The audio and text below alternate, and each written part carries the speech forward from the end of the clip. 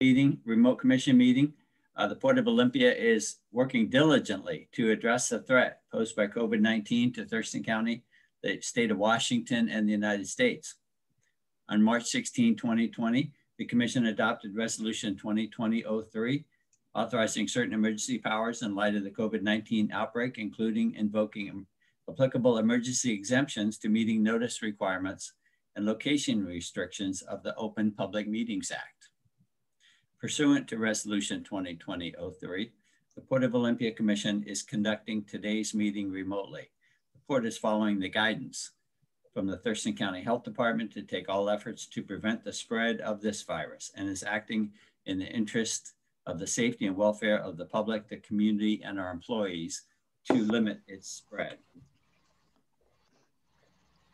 Uh, Commissioner McGregor, would you like to lead us in the Pledge of Allegiance, please? Absolutely. You'd please rise and join me in the Pledge of Allegiance to our country. I pledge allegiance, allegiance. to the flag of the United States of America and to the republic for which it stands, one nation, under God, indivisible, with liberty and justice for all. I'd also like to acknowledge that this week is the anniversary of the Boldt decision, which affirmed the Medicine Creek Treaty Tribe's rights to half of the fishing and hunting in usual and accustomed places and made the tribes co-managers of the fisheries.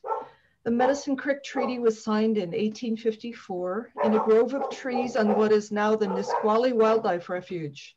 The treaty was ignored by whites for over a century Billy Frank Jr. and many other Nisqually tribal members fought for their fishing rights, which were finally affirmed by Judge Boldt in 1974.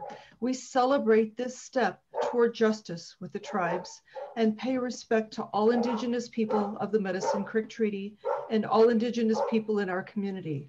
Aho. Thank you, Commissioner McGregor and Commissioner Zita. Uh, next, we have approval of the agenda. Do I have a motion to approve the agenda? Move to approve with one change. Okay. Um, uh, uh, the minutes of January 11th are incomplete, so let's set those aside, please. It's been a motion to table the uh, January approval of the minutes of January 11th. Uh, is there a second? I'll second that. Been moved and seconded to table the uh, approval of the minutes for January 11th, 2021. All in favor, please say aye. Aye. Aye. Uh, motion passes. Um, are there any other amendments to the uh, agenda? Uh, Commissioner Downing, and if I um, might point out that uh, we do need to add a um, special reports for warrants over 200,000. Very well. So it's been, uh, so I move to add item uh, D1, which is uh, warrants over 200,000. Is there a second? Second. All in favor, please say aye. Aye. Aye. Thank you. Are there any other amendments to the agenda before we move to approve the amended agenda? Move to approve. Second, Second. all in favor, please say aye. Aye. Okay, we have an agenda. Thank you, commissioners. Uh, next, we move to uh, item D, which is executive director report with our own Sam Gibney. Sam? Uh, would we have special reports first or um, uh, do that after? Well, it so happens that I put it as D1. Okay. So go great. ahead and do uh, D. D is executive director. Report. Okay, thank you. Unless unless there, you have a good reason to put it first. Nope, so. nope, that's fine. Okay. Okay, uh, next slide, please. So Kim Kawada has retired from the port as of January 31st. I think it goes without saying that you all know that Kim was an exemplary port employee serving at the Marine Terminal for over 21 years. She had a very small retirement celebration, all socially distanced, of course, uh, with the Marine Terminals staff and a couple of other port retirees who may have shown up as well. Lynn Fosher had a bell hung in the gatehouse that is engraved with her name. Each time new business is received at the Port Marine Terminal, it will be rung in her honor. We thank Kim for her dedicated service over the many years and send her our warmest and heartfelt wishes for this next chapter in her life. Next slide, please. So our maintenance staff has been busy installing the new payment kiosk at the Swantown Marina launch ramp. This new kiosk will allow customers to make launch ramp, parking, and moorage payments electronically. The structure that houses the kiosk has also been redone with new interior siding, wiring, and paint. Next slide. So I, as the executive director, have been invited to participate in an effort led by the Northwest Ag Business Center, which is administering a three-year award under the USDA Regional Food System Partnership Program. Funding will support a network of over 30 entities working together to address food system infrastructure, food access, and education through an 11 county region of Western Washington. This work will be led initially by a steering committee comprised of representatives from each participating entity. It's, uh, I've been asked to participate in this steering committee. The steering committee will be responsible for agreeing upon interim and permanent governance and management protocols to guide the development of projects and delivery of services that support a vibrant regional food system. The Ag Center will use the decision-making guidance of the steering committee to develop detailed plans for infrastructure investment and marketing. So I'm very thrilled that I was asked to uh, participate in that and um, will be uh, doing so for the next few months. Next slide. So I and Government Affairs Senior Manager Jenny Folia Jones and the port's lobbyists have been meeting with our state senators and representatives regarding the capital budget funding request for the Marine Center project. The port is seeking funding to build a Marine Center, which will house marine and maritime related nonprofits that connect the public to nearshore and marine environment, provide educational programs for kids and lifelong learners, and develop a sense of stewardship for South Puget Sound. This Marine Center will be co-located in the Port of Olympia's new Marina and Administration Building. And I would say that the uh, meetings with, with them have been uh, positive, and so um, we will keep seeing and see if we make it um, through the capital budget process. Next slide. The Port Commission and leadership staff spent two days holding a joint retreat to discuss port business and priorities for 2021. It is a productive time spent aligning expectations for 2021 and discussing the opportunity for more robust multi-year strategy development. We did have a technical glitch in that one of our presenters, Anne McFarland of Jurassic Parliament, was not able to attend as the internet service in her area went, went out. We'll be rescheduling another shorter session in the near future to make up for this part of the retreat. Next slide. The Destination Waterfront Public Outreach continues. We have th uh, three upcoming meetings. Wednesday, February 10th at 10 a.m., we have an advisory group meeting. Wednesday, February 24th at 10 a.m., we have a second advisory group meeting. And Thursday, March 4th at 5.30 p.m., we have our fourth public outreach meeting. Zoom links for these meetings can be found at portolympia.com. We'll also have an update with the commission at our next work session next Tuesday, February 26th at 2.30 p.m. And a presentation of the final plan will be brought to the commission for consideration and acceptance on March 8th and March 22nd. Next slide. The Port of Olympia has been working with Pasha Hawaii, a marine design organization, also known as MDO, on a contract to receive two Maritime Administration vessel, vessels for a five-year lay berth. We recently received news that these vessels may be staying in California rather than coming to the Port of Olympia. Through the contract approval process, we were informed of an interpretation of logistical requirements for, more, for multiple vessels that would eliminate the Port of Olympia and could effectively cause Washington State to be eliminated from future multiple vessel lay berth opportunities.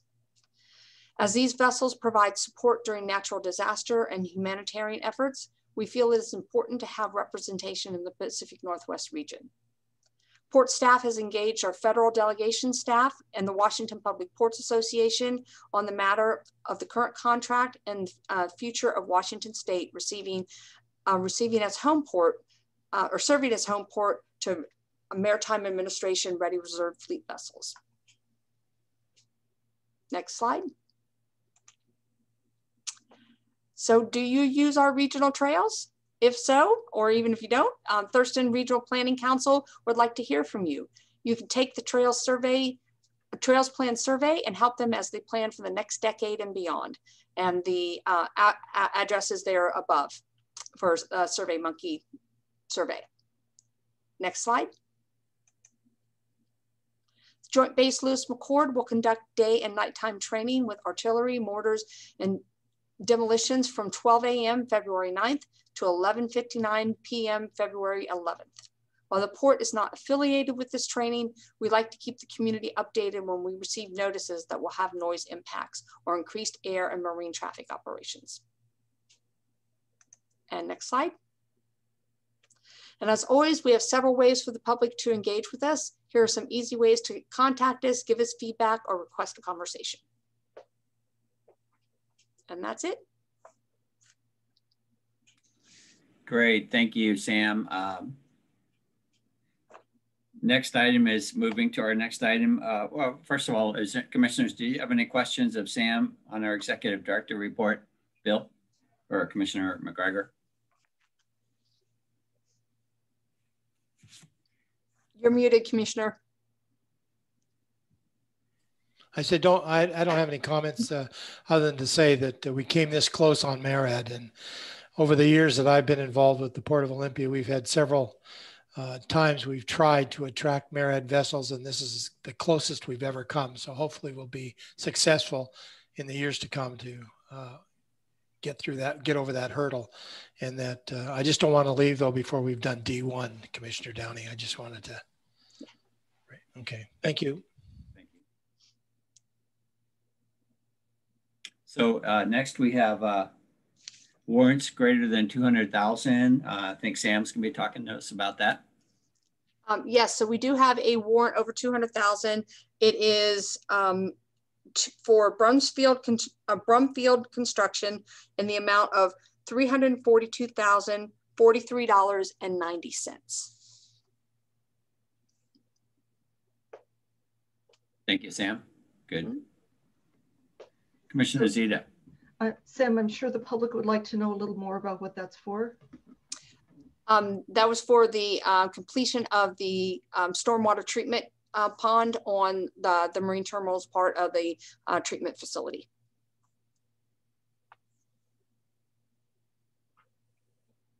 Um, at this time, then, we're going to move to uh, public comment. And uh, our commission coordinator let me know that there's four people signed up. And um, the first person to sign up for uh, public comment tonight is uh, Mr. Rory Summerson. Uh, Rory, are you with us tonight?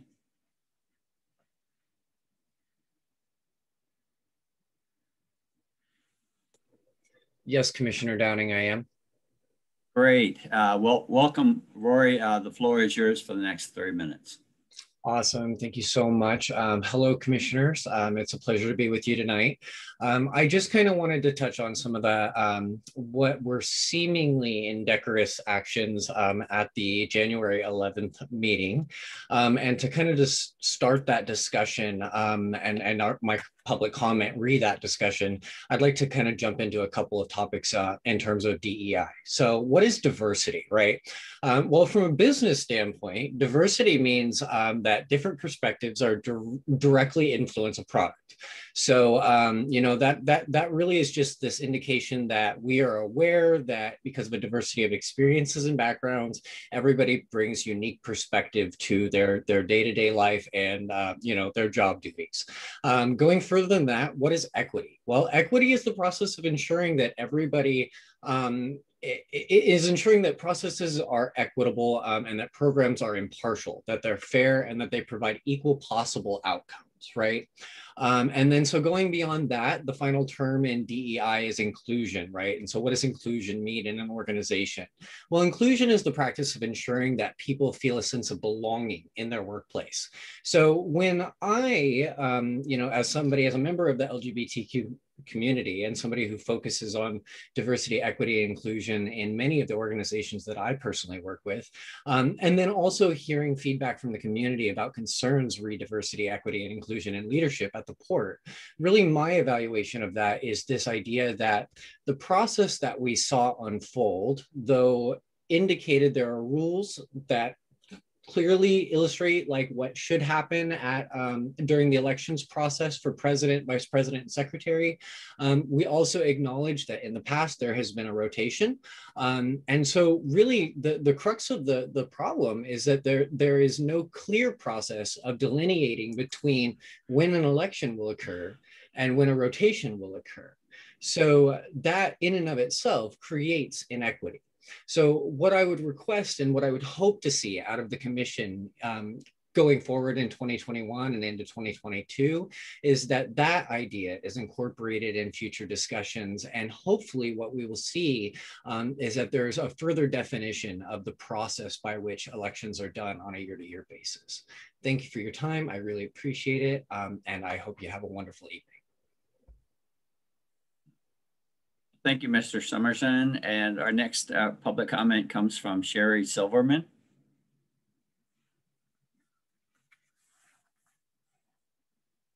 Hi there. Took me a second to unmute. This is Sherry Silverman from Tumwater.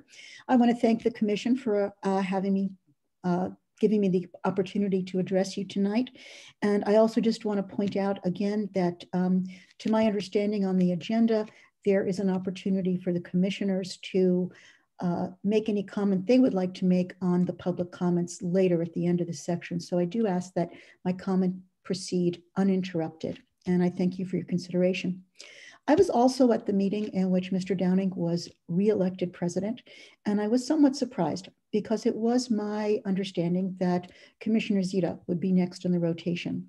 While both Commissioner Downing and Commissioner McGregor did explain that it is not unheard of for a president to have uh, row to have the role twice in a, in a row that um, at the same time commissioner zita did point out that this was usually because the commissioner to whom the presidency would have rotated was running for reelection for that commission seat.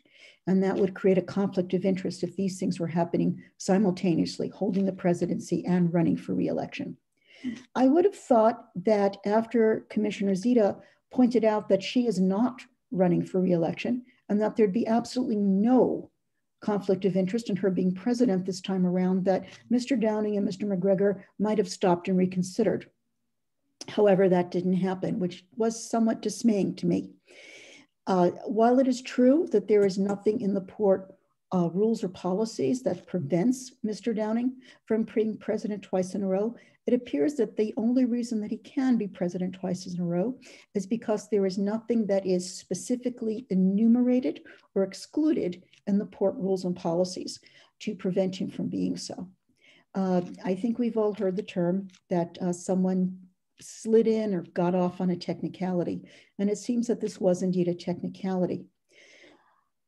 I want to echo what Mr. Summerson said about diversity and equity and inclusion. Uh, I think the port was done a disservice. I think the public was done a disservice when the leadership of the port stayed stagnant. I do believe that Port Commissioner uh, Zita should have had the rotation to the presidency. I do ask that Mr. Downing reconsider his decision on being port president. I think that the public would very much like to see Commissioner Zita have her chance at the presidency since this is her final year in the commission. I thank you for listening and I thank you for your consideration. Thank you, Ms. Silverman. Our next uh, member of the public to speak uh, tonight, Carla Wolfsberg. Carla? Yes, hello. Um, Uh, Commissioner Downing, it's my understanding that I'm allowed three uninterrupted minutes to which to make my comments at this meeting, so thank you. Um, I want to recount in detail and to address what I witnessed at the Port Commission meeting on January 11th, 2021. You've heard um, a couple of people talk about that. Um, it appeared to me to not only be unethical, but an outright abuse of power by Commissioner Downing in his reelection as Port Commission president.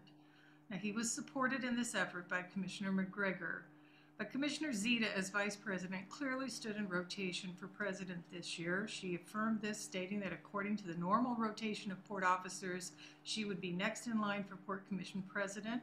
She asked permission to share her screen to show a page that each commissioner had in his or her packet, which affirmed this rotation. Commissioner Downing, however, without any explanation, outright refused her request to share that document. and then he stated that commissioners who are seeking re-election as port commissioner should not run for president, but Commissioner Zita said she wasn't running for re-election as port commissioner. So at this point, Commissioner McGregor came in to refute the officer rotation, saying that in fact he'd served as president for two years. Now, this statement gave the appearance to me and possibly to others who attended that Commissioners McGregor and Downing had worked out a collaborative strategy in advance that would ensure Commissioner Downing's reelection. This is the appearance it gave. So Commissioner Gregor seconded Commissioner Downing's self-nomination, who then called for the vote, voting for himself as did Commissioner McGregor, and Commissioner Downing claimed victory. Now, but I ask you at what cost? Not only did I witness this what looked like the raw abuse of power, but it was offensive to me. As a citizen and as a woman, I recoiled at the dismissiveness and the lack of respect that I witnessed by the two male commissioners toward Commissioner Zita. Your collaboration, sirs, and behavior denied me and, and the public, I think, diversity in our port's leadership. So I would like to say that right at the very end here, I would like to ask Commissioner Downing that you step down and allow Commissioner Zita to assume her rightful position in rotation as Commission President for 2021. I think this would befit uh, the behavior of an elected public officer, modeling respect, inclusiveness, and transparency in governing. And this would be, I think, fair in her final year um, on the commission. Thank you. Thank you, Ms. Wolfsberg. Our uh, last public comment uh, signed up is from Lisa Cezanne. Lisa? Hello, good evening. Can you hear me? Yes, we can. Very good. Thank you. Thank you for the opportunity to speak. I am basically echoing the three uh, prior commenters. I just want to say that I am deeply disappointed and baffled that Commissioner Downing was reelected as Commissioner President, rather than allowing Commissioner Zita her rightful turn in the rotation. So I have a couple of questions. One is, Commissioner Downing, can you explain to us how your action is a benefit to us, the community who you serve? And also, how does your action reflect the values, principles, and traditions of American democracy? Which include fairness, inclusivity, and cooperative teamwork. We are really struggling to support those values, principles, and traditions right now in our American society. And I think this action is a real negative and is not helping the conversation or helping civil society at all. So I do ask you, Commissioner Downing, to step down and allow equal access to Commissioner Zita to be commission president. Thank you. Thank you, Ms. Cezanne. Um, at this time, uh, that's all we had signed up for written comment, but is there anybody else attending that would like to give comment, uh, public comment at this time?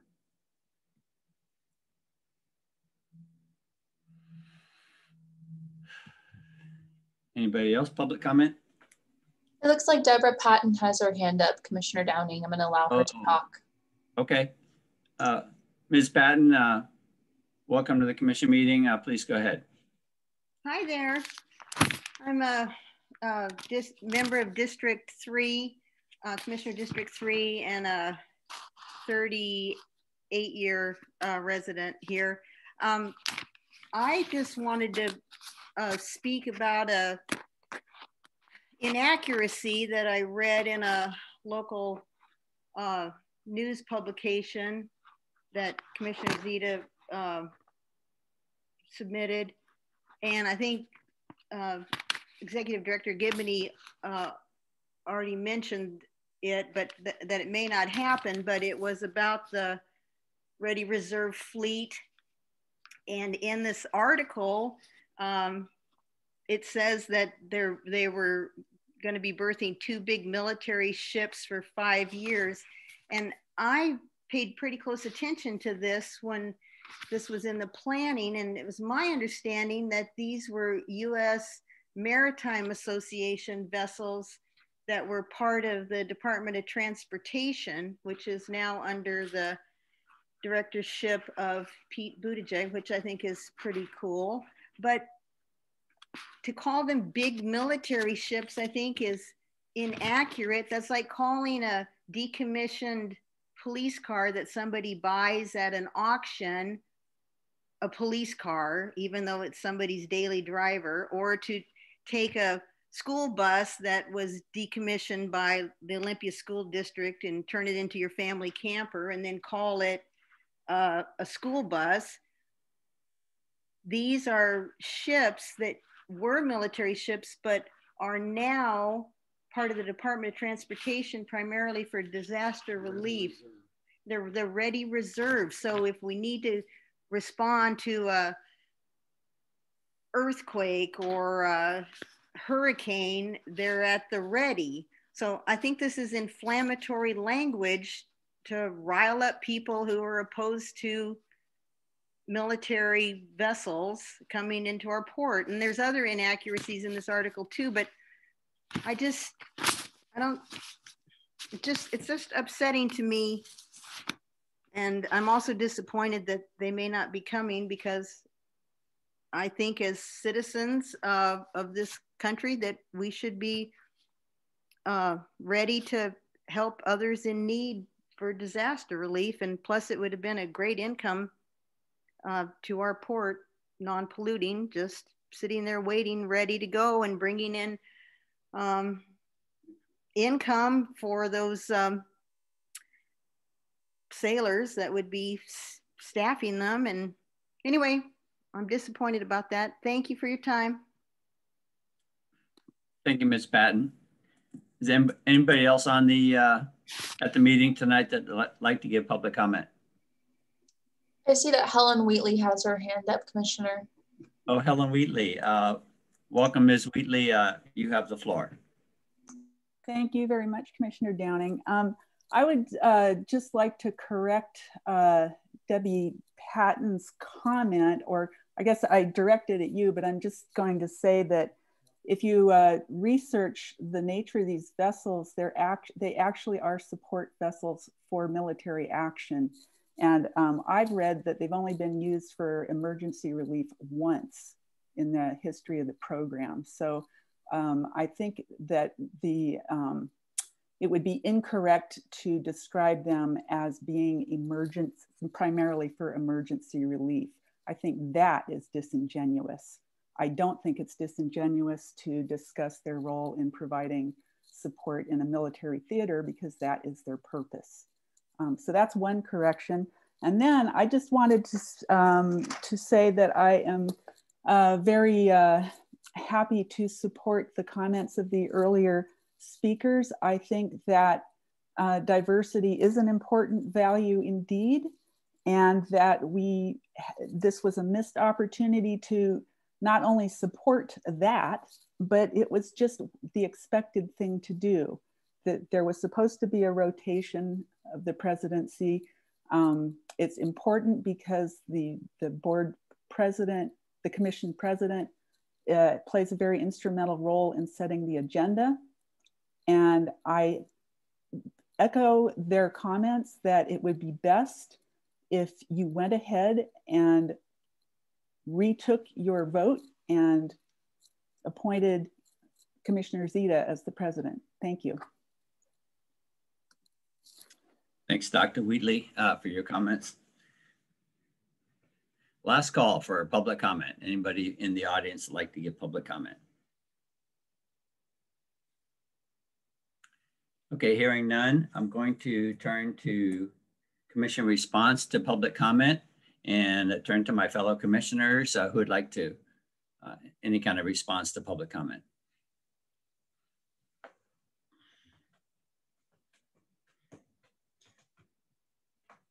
Commissioner McGregor, would you like to give any kind of response or you don't have to, of course? Yeah, no, no, I'm fine. I just had to find the right mute button. Oh, okay. I have three screens up and running with this meeting and they've all got mute buttons on them. So I got to figure out where I'm at with my pointer. Uh, so let me uh, first uh, just say I appreciate their uh, their comments that uh, have been spoken tonight. Uh, there is on our agenda for another meeting at another time that has not been scheduled yet, but where we're going to be discussing the code of conduct and the rules of the commission. And so maybe that is an opportunity there for us to put in language that is less vague than rotation on the election of officers, but that's an opportunity that the commission can have discussion on at that point in time. And uh, I don't uh, have anything else other than um, sorry to see MARAD is not coming. So thank you. Thank you, Commissioner. Uh, Commissioner Zita. I want to thank Commissioner Downing for not interrupting any of our speakers tonight. Um, that's a good practice. I agree with Commissioner McGregor that uh, we should indeed discuss um, making our officer rotation clearer. All the ports that I have researched do have the same officer rotation that the Port of Olympia has had in practice for at least the last six years that I've been on. And uh, it would be useful for us to be clearer and more predictable in our officer rotation. I um, I thank all the citizens who have spoken in favor of um, my serving as president. I was vice president last year, and ordinarily the vice president rotates into the president's office. It was um, very strange that that didn't happen this year as I am not running for reelection. So there's that is not a conflict. Um, my two fellow commissioners appeared to have their mind made up about that in advance. I have no explanation for that. If they, if one of them chooses to make a motion to change that decision, I am prepared to second. I will not make the motion because um, I uh, am too often in the minority. Ms. Patton um, is concerned about the description of the ready reserve ships. I'm not sure what article she's talking about, but Dr. Wheatley is correct that these ships are primarily for support of military operations. They were in the Gulf War, for example. Thank you. Well, thanks, uh, commissioners. And uh, for your comments. And also thank you to uh, Rory, Sherry, Carla, Lisa, Deb, and Helen. Pardon me if I'm using your first names. We're not on a first name basis, but it's a lot easier to run down this list and acknowledge the uh, importance of your comments. I think it's important for people that support that decision or don't support that decision to speak up. So I appreciate your uh, your comments and especially uh, uh, Ms. Wolfsberg, uh, there's nothing worked out in advance. The port operations are extremely transparent and the uh, authority for somebody to nominate themselves to be president of the commission comes from, I, I believe it's resolution 2019-04, which all three commissioners um, signed and it does not talk about a rotation. So I refer you to that. It's on our website, 2019-04. So again, I thank you for your comments and and Ms. Patton, uh, you know, as as one of the people that approved the idea of the MARAD ships coming, I was pretty, uh, uh, well, just upset that, you know, that contract seems to be slipping away and I appreciate Commissioner McGregor saying that uh, this is the closest we've come. So, you know, we're always on the lookout for good business and we'll keep it up. And uh, I know the last thing I was going to say was that uh, I'm sorry that you find it objectionable for me to uh, serve two terms as uh, president, but I can tell you that, you know, I was acting in what I perceived to be the best interests of the port. Thank you.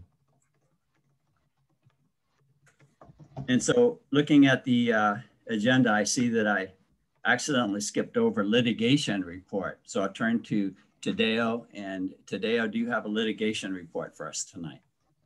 Oh, there's nothing to report. Nothing to report. That's typically good news for us. So um, now I move to the uh, consent calendar. And the consent calendar has two items on it. It has uh, bills and vouchers for December, batches 49 to 53, totaling $1,125,694.05. And the other item on the consent calendar is the approval of minutes of the January 4th Commission work session. So do I have a motion to approve the consent calendar? Move to approve. Do I have a second? I'll second. All in favor, please say aye. Aye. Aye. Opposed? Motion, okay, that passes. The consent calendar is passed. Uh, we move past the action calendar and the action other calendar. And we move to the advisory calendar, which has three items. The first item is the Nisqually River and Delta Restoration with Uh, David. point of Trout point point of order, please. Oh. Uh, we had the January 11th meeting minutes that were just tabled. Are we dealing with them tonight, or uh, are we putting them off for another time? Uh, thank you, Commissioner, for that question. Uh, my interpretation of the word tabled means they're off of tonight's meeting. And, Okay. and so uh, I trust that Commissioner Zita and our commission coordinator will talk and uh, we'll see some email transmission and perhaps a revised uh, commission meeting minutes of January 11th.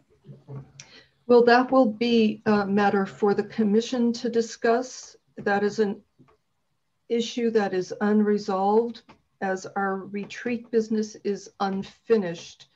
We have yet to discuss uh, the removal of written public comments from our minutes. So, good. Well, okay, so in the context of tonight's meeting, the commission meeting minutes for January 11th have been tabled, which means we're not talking about them tonight. And I would welcome Commissioner Zita to uh, suggest that as a work session item, or we'll bring it back at our next commission meeting where we can discuss that. Point of clarification, Commissioner Downing, the commissioners have agreed to discuss the inclusion of written public comments in our minutes at the retreat. If you would like to discuss it at a work session as well, that would be fine.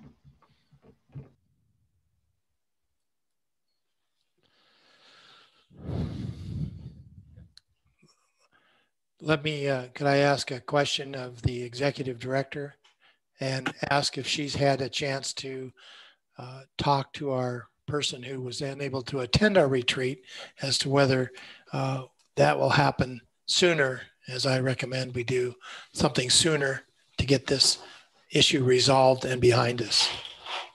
Um, yes, we are um, uh, looking to schedule with uh, Ann McFarland. Here we put a couple dates out to her. Um, I don't think we've heard uh, back from her yet, but we have followed up with with her. Um, I think the dates that we were looking at were. Um, um, I'm sorry, I don't, I, I don't have those written, but we, we're, we are following up and hope to uh, have that in the next couple weeks.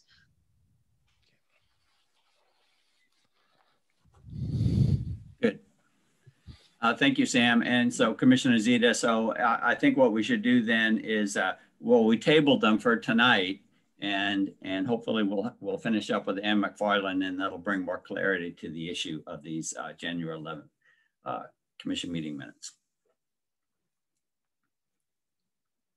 Okay, so now we're going to move to uh, Nisqually River and Delta Restoration with David Trout. David, thanks, thanks for being here with us. You bet. Thank you, members of the commission, for uh, for spending some time with me tonight. Um, my name is David Trout. I'm the Natural Resources Director for the Nisqually Indian Tribe. Um, I was hired in 1987 by Bill Frank to uh, work on all things Nisqually. And I appreciate the comments about the anniversary of the Boldt decision being today. Billy and I would celebrate that by going out and having a stack of pancakes um, every anniversary. And I, I miss those uh, opportunities with my friend Billy. Um, but I'm going to talk to you about some of the work that we're doing down in the Nisqually Delta and around the Nisqually Basin in general in terms of salmon recovery. And then the big project that we're working on to reconfigure I-5 to be consistent with the salmon recovery efforts there. Um, the Daily Olympian just recently, I think in the last week, published an editorial, a favorable editorial. Hopefully you all have had a chance to see that. Um, but we're gonna go over that in some detail. If there are questions along the way, please stop me. I tend to get on a roll and just keep going. But if there are some issues, uh, I've got all night, so we can do what we need to do. So um, the Nisqually Delta and the crossing of the I-5 across the Nisqually Delta is really this unique intersection between salmon recovery, the southern resident killer whales, national security, and local economies all coming together in one spot. And so it really is a unique opportunity to do something uh, pretty incredible in the, in the Nisqually watershed. Next slide. For those of you who don't know where the Nisqually is, although I know everyone here does, and we certainly appreciate our long relationship with the Port of Olympia, but just in case there are those who don't, it's in the center of the known universe. Um, I'm required by one of my tribal elders to put this slide in every presentation I give. So if you've seen it, that's why. Um, it is a creation story from the Nisqually. And as far as we're concerned, it is the center of the known universe. And you're just on the slight edges, the outside of it. Next slide. It is the largest freshwater body south of the Tacoma Narrows. Next slide. It's this is an animated slide. Or actually, this is the animated slide. It's a 720 square mile basin. It's the only watershed. Um, next slide. Whose origins is in a national park. Next slide. And its terminus is in a U.S. Fish and Wildlife Service refuge, aptly named the Billy Frank Jr. Nisqually Wildlife Refuge. And along the 84 mile journey, next slide, there's some pretty remarkable habitat left in the Nisqually watershed. And it's not by accident, it's by work of a lot of partners along the way in many years to preserve it and, and make it uh, the, the, in the condition that it is now. Next slide. But Nisqually Chinook and Nisqually salmon experience all the same impacts that all the salmon in Puget Sound do, from the impacts of growth to um, poor hatchery management practices of the past, to elevated fishing rates in pre-terminal ocean fisheries, to the impacts of a hydroelectric operations. They've all had an impact on the squally fish. Next slide. And certainly one of the biggest impacts we're seeing for Nisqually fish is the growth of people and where they want to live along Puget Sound. Everybody wants a water view, either along a freshwater body or Puget Sound itself. And those all have associated impacts. And you can see that that's where the density really is in the Puget Sound region. Next slide. And the people keep coming. We're sitting at about 7 million. I think it's 7.2 million more or less now, projected to hit 9 million by the year 2037. And those people are going to want to live again in Puget Sound and, and along the waterways, and they're all going to have their impacts directly and indirectly. Next. Which all really challenge our ability to recover salmon. And the absolutely key thing for salmon in the Nisqually and salmon in Puget Sound as a whole is habitat. Habitat is the critical factor that allows these fish to continue to survive. Now the Nisqually was, um, had an hydroelectric operation started in 1919 by the city of Tacoma that um, reduced the anadromous fish zone to what we see today. It's about 42 river miles from the Alder LaGrande project down to the refuge. And we have six species of salmon and steelhead that use most of the Nisqually uh, River but as you can see, we're tributary poor. We only have three significant tributaries, Muck Creek on JBLM, Ohop, and the Mashel near Eatonville that um, support salmon. Next slide. And so in response to the listing, and you all know this, but just as a reminder, we have two ESA listed species in the Nisqually, the fall Chinook population and the steelhead. are both listed as threatened under the Endangered Species Act. And so our first response to that was to develop a plan, an action plan with goals and objectives and priorities. And this lists the priority issues for us. Next slide. And this demonstrates numerically the goals that we've established for these key areas. So from estuary protection up to the restoration of the Mashel, we wanted to hold ourselves accountable and be able to measure progress over time. Next slide. And as we sit here today, we've made some pretty significant progress. Um, we have overachieved in the estuary, which is what we kind of do in the Nisqually. We've restored 900 acres there. Nearly the full functional values of the estuary have been restored. Uh, we protected 77% of the Nisqually main stem, which is pretty remarkable. And then some significant restoration opportunities in the upper watershed we've taken advantage of. Next slide. But certainly the key focus for our salmon recovery efforts is the heart of the Nisqually watershed. This is the place where salmon have to go through twice in their lives as juveniles going out and as adults coming back. And in all those different phases, they have different requirements and different habitat needs, and the restoration work down there has been critical. I don't know if you, well, actually, you probably can't see my mouse because I'm not driving this slide. The Nisqually Estuary slide in June of 09, you can see the white outline is the historic dikes that were built around the 1900s, early 1900s, mostly by hand, some by machines, to convert the Nisqually Delta to agricultural uses. And then you see in 2010, which is March 2010, which is a few months after the full restoration, those dikes have been removed um, and the estuary has now seen saltwater and fish use it as of 2010 for the first time in over 100 years. And it's been pretty remarkable to see the transformation. Next slide. And this is the great view of, of that. There's one remaining dike on the inside. You can see the brownish area that's protecting the visitor center and the twin barns.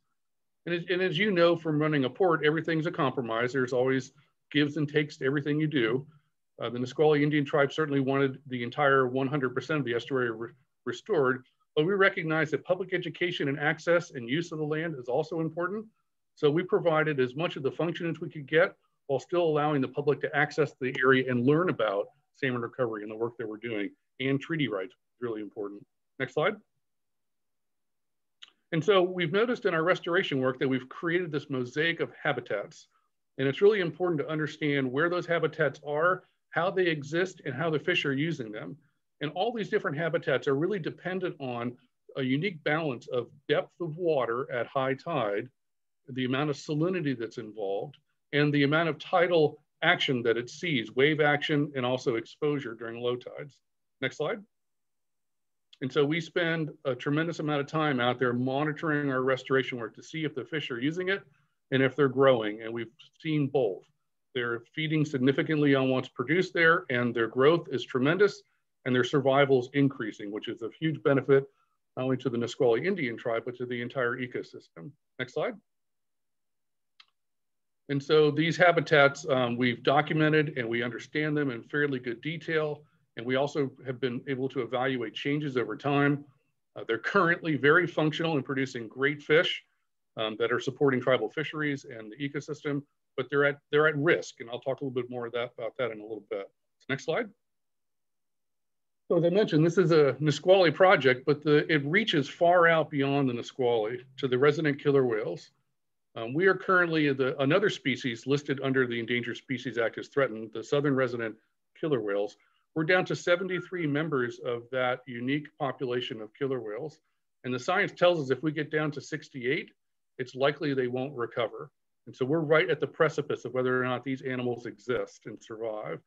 And as you can see by the food um, graph on the left-hand side, on the very top, Chinook is present in their diet all year round. Chinook salmon is incredibly important. They also take advantage of returns of chum and coho and other fish, but Chinook is there all the time and it really drives who and what they are. Next slide. And these three graphs show that relationship. The graph on the left shows that the calving probability increases from left to right as the amount of Chinook increase off the west coast Vancouver Island. And then the next two ones show that killer whale mortality index goes from high on the far left to low on the far right, which is where Chinook are increasing in abundance. So their survival increases. And then the bottom graph shows that clearly their calving index, their birth rates increase with growing numbers of Chinook as well. So really tied to Chinook populations. Next slide. And based on diet work and scat analysis, the South Puget Sound stock is one of the most critical stocks for their time when they're out of Puget Sound, feeding on the coast from the months of about October through May, which is really critical for them. And so Nisqually stock is the largest of all the stocks in South Puget Sound. It is therefore critical to the survival of the southern resident killer whales. So it has far reaching impacts. Next, next slide. And again, looking down at the mosaic of, um, of habitats down in the Nisqually. Next slide. As we understand more about where the fish are using them, and if I had my pointer, I could show you, but there's a, a, a dark, lightish colored brown, at least on my, my screen, lightish colored brown habitat right next to the 2006 label. Uh, we have found that that area of the Nisqually River and the wetlands associated with it, which are the forested riverine um, habitats will hold up to 80% of our natural wild Chinook for up to a month as they transition from a freshwater animal to a saltwater animal. And here's where you're gonna get your honorary biology degrees if you want one. Um, what happens to the juvenile fish as they're out migrating is basically their kidneys have to reverse function. They go from a freshwater animal where they're trying to expel water because water is moving into their bodies very quickly just through through the natural environment to once they move into salt water, they want to retain as much water as possible. So their kidneys go through this incredible change and they need time and space for that change to take place if they're going to be successful. And so this habitat is critical to their ultimate survival. Next. So what's affecting these habitats, as I mentioned earlier, is depth and salinity and exposure to the low tides in terms of wave action and sun. And so in studying the dynamics of the habitats down there, we're recognizing that our preliminary predictions about how quickly would restore are being challenged by the fact that we're not getting enough sediment into these habitats. So the waters are getting deeper and they're getting more saline. And so that critical habitat piece that I showed you earlier, talked about earlier, is getting smaller and smaller over time with sea level rise. And we're measuring it and we can see it. And so the challenge here is that not only are we not getting a lot of sediment coming off the glacier because of the Alder-LaGrande dams blocking that sediment transfer, but whatever sediment does make it down to the Nisqually, which is about 10% of the total, gets pushed offshore because of the configuration of I-5 and the way the energy is being transported through the Nisqually Delta. So I-5 is causing this to become deeper because of its, it's not allowing sediment to move forward. Next. There's also other issues, as I mentioned, this connection between uh, economy, local economy, private properties, but also just the economy of the region. This is an aerial from the 1996 flood. And for those of you who are here, recognize that as being one of the biggest floods we've had in the South Puget Sound region. It's the flood that shut down I-5 near Chehalis and Centralia for two weeks and caused great economic harm to the region. Um, this is a shot of what was going on in the Nisqually.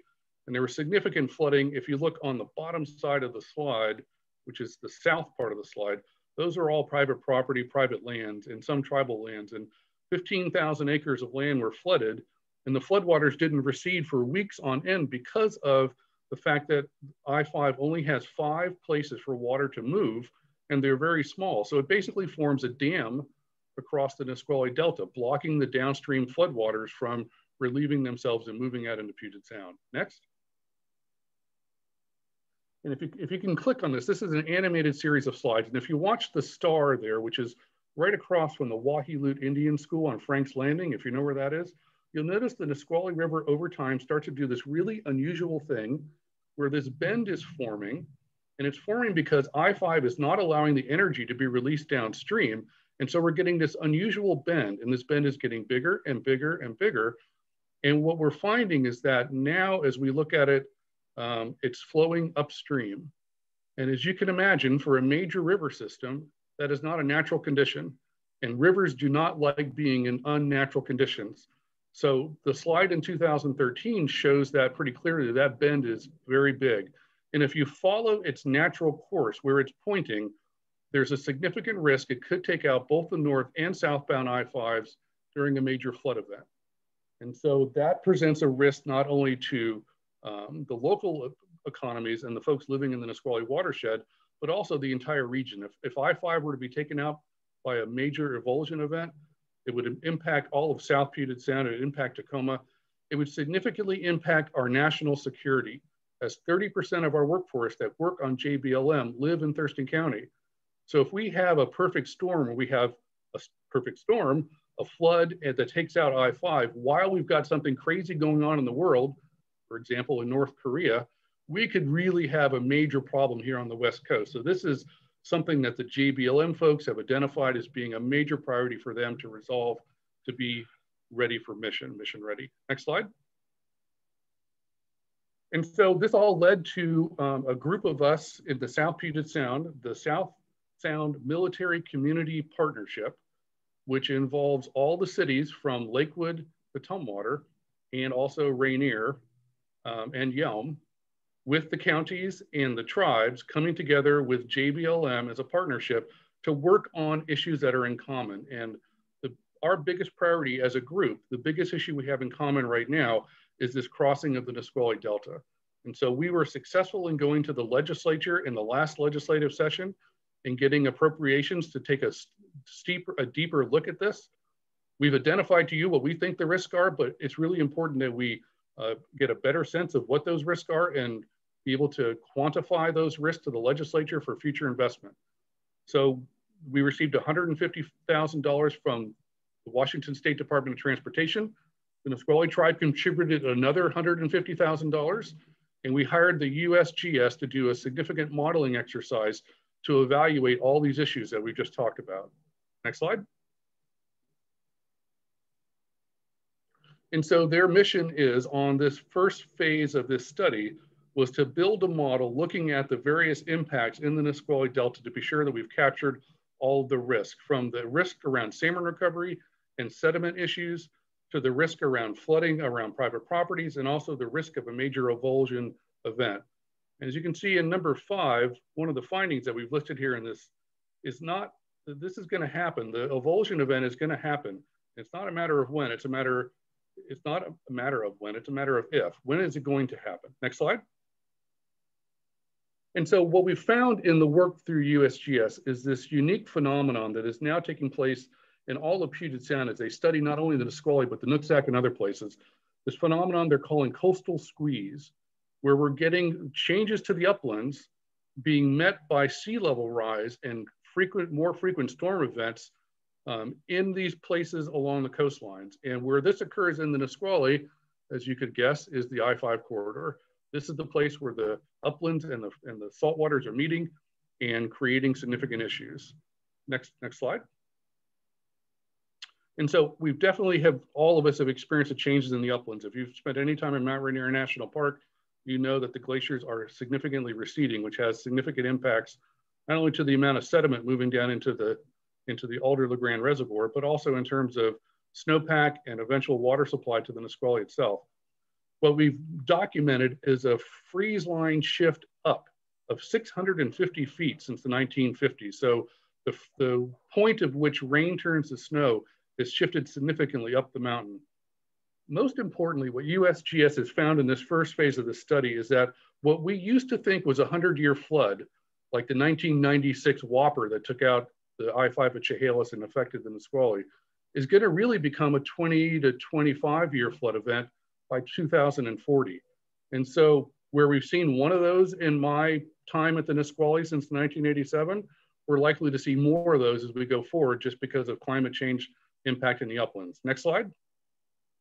And this shows the amount of sediment that's coming off the mountain, which is increasing significantly, and it's gonna challenge the ability for the Alder-LaGrande Reservoir to continue to operate as a reservoir without some significant uh, man-made engineering solutions to sediment loading. Next.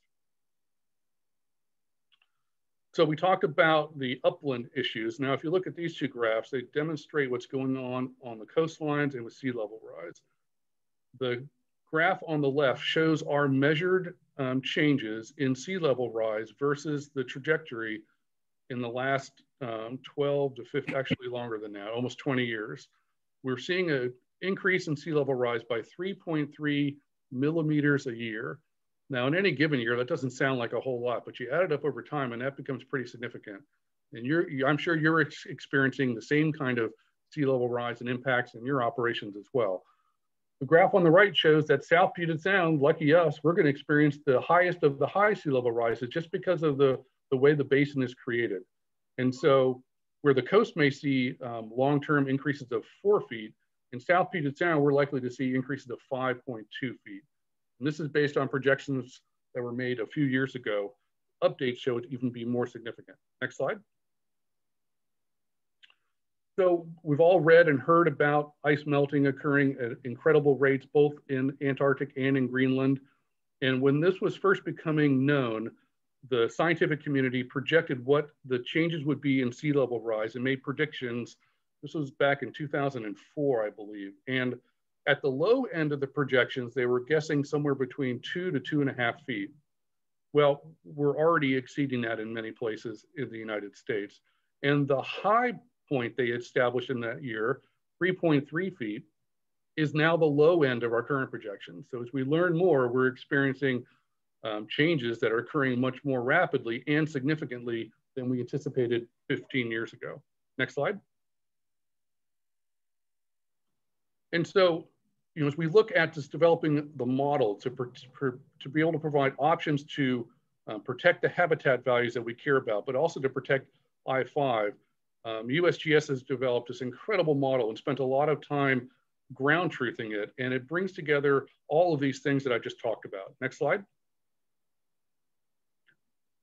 It looks at um, all the various elements down in the Nisqually Delta. It looks at, in particular, WashDOT was concerned about the potential avulsion event that may occur down on the I-5 corridor. And it brings together all the various impacts occurring in the uplands and in sea level rise all together with a single model. Next slide. And so when you look at all these conditions and how they're all stacking up, they have massive impacts in South Puget Sound from sea level rise and global warming, climate change in the oceans, and how that's delivering more powerful storms and warmer storms into the region. Well, you wouldn't know it by today. Today's a cold day, but this has been a pretty warm winter and a very wet winter. And this, I'm afraid, is going to be our future as we're going to see more wet and more warm moving in our way. This also takes into account changes in wave action as a result of increased storm intensity in South Sound. Next slide. And so again, looking at that particular spot or right across from the Wa He Lut Indian School, the red, the, the, the picture on the right shows where it is today in 2019. And it is significantly flowing upstream. And so the USGS looked at, well, what are the risks of moving towards I-5 and taking it out? And what they're able to determine based on the current rate of erosion on that site somewhere between 17 and 30 years, it will take out I-5. So again, it's not a matter of if, it's when. And when is on the outside window, 17 to 30 years. Now, what USGS can't predict because of limitations is the impact of a major flood event, which could occur next week or the week after. It'll undoubtedly increase the amount of erosion that's going on, but we may have a single event like the 96 event that could simply jump channel and take out I-5. Now the elevation difference between that bend in the river and I-5 is four feet. And it's all um, river sediment. So it's not very solid substrate. It won't take much to carve a new channel. And uh, we need to be ready for that. Next slide. And so we've taking the model um, results and running different scenarios and looking how things change over time. You remember the Super Bowl flood about this time last year, um, after the Kansas City Chiefs actually won the game. Um, we had some minor flooding. It was a one in 10 year event, so it wasn't a big flood, but you can see based on the blue, the color of the blue on the bottom part of the slide where I-5 crosses, there was some pretty significant flooding, uh, including at my new office down in the Nisqually Valley. If you add one meter of sea level rise to that, what you'll see is that flooding expands uh, a little bit on the McAllister side on the left-hand side of the graph, but the depth of the water across the blue areas gets deeper. And so the magnitude of private property damage would be significant. And then if you throw one meter sea level rise on top of the 96 flood, you've got a disaster. You've got a major problem. Next slide. And so as we look at the summary of the work that they've done, that they definitely concluded that the sediment delivery is being impacted and we need to design alternatives to change the way the rivers delivering sediment into the Nisqually Delta. One of the remarkable findings they had is that the risk of simple overtopping of Nisqually, of I-5 at Nisqually is going to increase significantly over time. So not just the avulsion event, but like we saw with the Chehalis in 1996, that kind of event is likely to occur here in the Nisqually within the next 15 to 20 years as well, with this combination of sea level rise and upland changes.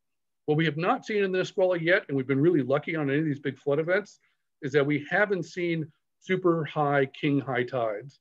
Now, if we match that with a major storm event, then we've got some significant problems. And at some point that's gonna happen.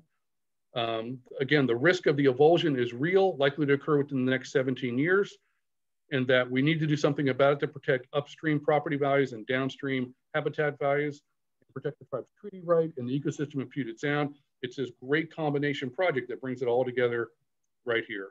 And I believe that is my last slide. And I know that's a lot of information, um, but I'm certainly able and willing to answer questions if you have any.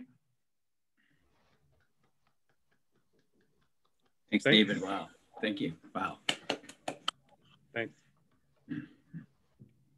So David, I, I got a question, uh, if I might, and that, that is, uh, how many uh, outlets are there underneath I-5 right now for the Nisqually to pass through? Yeah, you know, if I controlled the PowerPoint, I could take you back to a slide, but there are basically, there's the main one at the Nisqually River. Yeah. There's one on the Pierce County side going through that wetland complex, if you're familiar with that. There's a very small relief channel on the wildlife refuge side. And then there's the McAllister Creek opening. So there's basically four. There's another really small one, but it's not very functional. So basically four ways for water to move through the, the I-5 dam. And I should say we're in front of the legislature again, because now we've got phase one done. We're moving on to now the next phase, which will be to do some conceptual design work to see how can we accomplish all these various elements, looking at different design alternatives, and then doing cost assessments to figure out what it's gonna cost to build.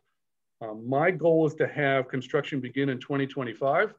I'm not sure the legislature shares that goal, but hopefully they will soon. And we're looking at all the various options from very minimal openings along the floodway to Billy Frank's vision of having the Lions Gate Bridge across the Nisqually Delta. Um, that would be a great tourist attraction and also move people more efficiently, effectively through the Nisqually Delta. Commissioner Zita, yeah.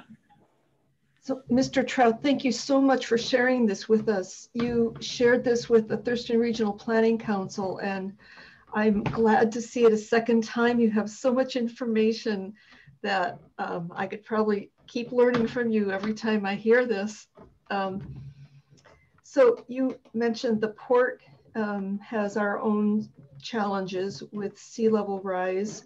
It, that's one of many things that are affecting the Nisqually Delta. Um, we learned from the modelers at the City of Olympia that with just two feet of sea level rise, which could happen by mid-century, we will have, instead of four king tides, well now six, flooding the marine terminal every year, we'll have over 150 floods per year at our marine terminal. So that's bringing it home to the port. And there's so much more going on at the Nisqually Delta. Um, one of the important things that I, I didn't appreciate until you taught us is the, um, the, the lack of sediment.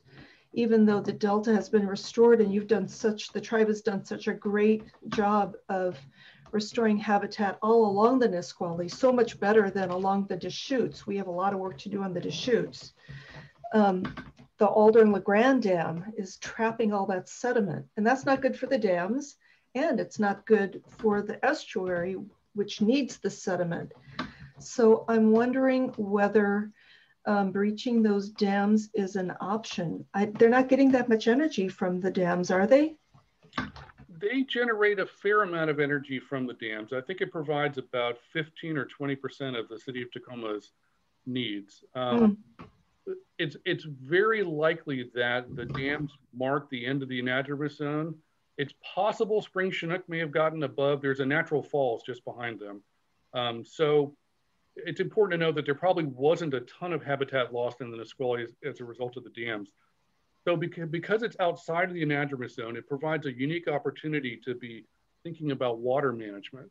And one of the challenges we're gonna have in the Nisqually is that if we were to take out the dams, we would go to a run of the river operation. Basically, whatever comes off the mountain is the flow of the river. In August and September, the inflow to the reservoir can be below 50 CFS, 50 cubic feet per second. But the minimum flows in the Nisqually are 360 cubic feet per second. And so we would lose a lot of fish habitat if we didn't have the dam to help re-regulate the flows there. In fact, I think one possible solution to salmon recovery is to locate some water control structures outside of the anadromous zone, managed um, properly to provide for uh, flow augmentation for the downstream habitat. So there's tremendous value there. But the, your question about, okay, now we have it, we're not gonna remove it. What do we do with the sediment that's behind it? And so that's a significant challenge. In fact, we're hiring the same USGS folks to help strategize um, with the city of Tacoma or Tacoma Power.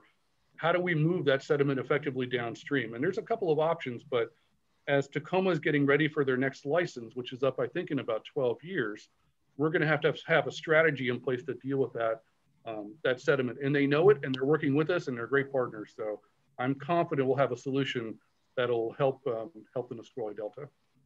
Yeah, the water management of the dam. I had hadn't thought about how important that is. So you need the sediment, it's trapping sediment, but you also need the water that it provides in the summer.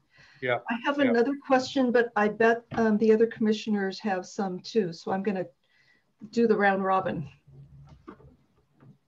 Thank you, Commissioner. Thanks, Commissioner. I did, I, I did have, it was the same, uh, almost the same question that uh, Commissioner Zita. Uh, first of all, let me state I appreciate the presentation. It was like drinking from a fire hose, and I'm Sorry. still absorbing all that. Uh, and uh, but uh, anyway, my, my question is on the sediment. You said how do you? Um, my question is how do you rectify that issue short term and long term? Is there? I mean, is that one of the? And you might have answered that, and I might have not picked it up in, during the presentation. But. No, so the uh, dealing with the license is really a long term solution to that it's probably not something we're going to have in play for for 15 years, but we need to do something sooner than that. And so we're working with the, the Tacoma Power and the city of Tacoma to see if we can somehow transport the sediment downstream. Now we might be able to do it by trucks or barges, but the other thing we can do, and we've noticed this every year now because of the, the drought we've been in during the summer, is that we basically have two Nisqually deltas we have a Nisqually Delta just outside of Ashford that enters into the reservoir where all the sediment is, and then the Nisqually Delta down in the sound. We might be able to manage the reservoir in a way if we, and they're really good about weather reporting and, the, and they've got their own basin specific weather report that we can manage the reservoir height based on when we're going to get a summer event and maybe redistribute um, that sediment downstream, maybe resuspend it and allow it to move downstream. So there might be management options that we might be able to implement short term that'll help get it down. Um, trucking it downstream is a possibility, although I got to tell you, I don't know how much time you have for stories, but I love to tell stories.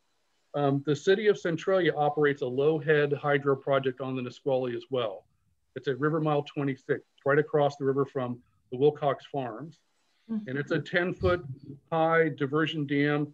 Um, and the water flows over it and fish get upstream from it. It's not a fish issue anymore. It used to be, but it's not anymore. But sediment will stop behind that dam. And every once in a while, they have to go through and dredge it and get rid of the sediment. We would like them to be able to dredge it and put it back in the river downstream of the dam. The Corps of Engineers doesn't see it that way. So we've had tremendous problems getting the agencies to see the benefit of putting sediment back in the system. So short term, that'll be a big help if we can actually get the sediment that's already in the river just move downstream through this way. And then the other long-term solution is to reconfigure the Nisqually Bridge, Nisqually I-5, and create an upstream channel to the Nisqually that, that splits further up than it does now below I-5. So we can deliver sediment on both the McAllister side and the Nisqually side. So a couple of long-term solutions, a couple of short-term solutions. Great, thank you very much. You bet.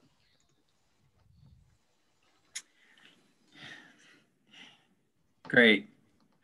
I like uh, Commissioner McGregor's comment about drinking from a fire hose because I felt the same way trying to keep up with uh, a lot of information there, David, and I appreciate all your great work on behalf of the Nisqually tribe and of course the, the Nisqually River Delta and, you know, the uplands.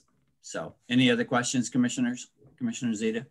Yeah, I have a question about um, tire chemicals.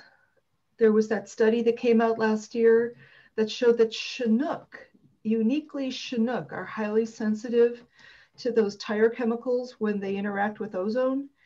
Um, and of course, Chinook are the preferred prey of the southern resident killer whale. Um, there's that asphalt plant down there near the Nisqually Delta, and they may expand it to, to handle recycled asphalt, which is likely to have more of those chemicals and the shredded up asphalt is makes the toxins more bioaccessible to air and water. Uh, I'm very concerned, and you probably are too, about the dangers to the um, fish, both the young fish and the returning fish, from those toxins. Um, can you do what's what can we do about that? Yeah. So I, I don't mean to correct the commissioner, but the species that is particularly sensitive is coho salmon. Oh, I thought it was Chinook. I'm sorry. Okay. No, it's coho, but we're we're in Puget Sound. Coho populations are near uh, listing levels as well. Their population declined significantly, and we think in in large part it's because of this significant issue. And so there is a, a preservative that's put into car tires to protect the car tires from breaking down as a result of exposure to ozone. And what the scientists from the U, UW and WSU working together have found the very specific chemical that's killing fish. And at very low concentrations, at very low times of exposure, it kills adult and juvenile coho. What's interesting is it doesn't seem to impact, impact chum salmon at all. And so it's very species specific. Um, and so we need to be thinking about how do we get that out of the system through better stormwater treatment and also by source reduction, getting those out of the car tires in the first place. Now, I posed that exact question to the scientists from the UW about we're now going to be having recycled asphalt in the Nisqually. This is new science that came out before we knew anything about it. And his inclination, although he's just starting to look at it, is that the process of sealing it into asphalt will keep it from being exposed to ozone and, and reducing its breakdown over time. But he's going to be looking into that. And if that becomes an issue, uh, part of the plan with Lakeside is an adaptive management strategy. And so if new science shows new risk, then Lakeside and the tribe and the Nisqually River Council, who's engaged, will take that on and try to see if there's some way to deal with it, or does it simply have to go away? But Lakeside is committed that they're with us and they don't want to cause harm to the environment. And if it does turn out that it is causing harm, then they'll do something different. So um, we're, we're nervously watching and, and participating in the process. Great. Um, I would like to um, learn what you um, know about that, and if you're if you can, I'll email you so you can keep me updated on that because I think that's um, an important development. Thank you very much for being up on the science and following it and doing what you can to protect it's so it's so complicated the water quality the right amount of water in the right place at the right time. And then that oxbow oxbows are natural but that one's forming really fast. And the fact that it's a looking to take out i5 is almost a lucky thing because it forces us to act now. Right and, and i'm hoping that we can act before it takes out i5 my biggest fear is that we have a disaster. It takes out I-5 and the Corps of Engineers comes in and does a Corps of Engineers type fix, which won't deal with our habitat issues at all. And so that opportunity will be lost. So we need to do that. Um, to the extent that you're dealing with stormwater issues in the port with port properties, um, I would have Jen McIntyre from the WSU. She's one of the lead scientists in the work done on this 6 ppd quinone. Have her come down and give her a presentation. She's fabulous and you'll be drinking through that fire hose as well. But I think it's an important fire hose to, to grab onto. So I highly encourage it. And if I can help set that up, let me know. That would be great. She gave a fabulous presentation to the Toxics in Puget Sound conference a couple days uh, just last week. Okay. Yeah, she's fabulous. Yeah. Thank you. You bet. Thanks. Thank you. Well, again, thank you for your time, David. It's great to have you here. And uh, there's a lot for the port to, uh, you know, keep up with in regard to the uh, your work. So thank you again. Thank you. You know how to reach me if there's any questions. And we certainly have enjoyed our relationship with the tribe over the many years and look forward to continuing that. So thank you all very much. Well, final question is how can we help? Yeah. Well, you know, that's a good question. Um, there are always lots of priorities about how we spend money on various things. And the fix for the Nisqually Delta is probably going to be in the neighborhood of four to five billion dollars. We have to deal with uh, Burlington Northern bridges and the bridges over the Nisqually and then elevating the Nisqually itself. And um, you'll be asked at some point about your sense of priority. And if this is something you can speak to as a priority for you all, um, that would make a difference for us. We really appreciate the support. You got it. Thank you. Great. Thank you all. Great, David. Thank you. Thank you Take very care. much. wow. Okay. Our next uh, advisory calendar item is the Aviation Planning Group contract with our own Rudy Rudolph. Hi, Rudy. Evening, Commissioners.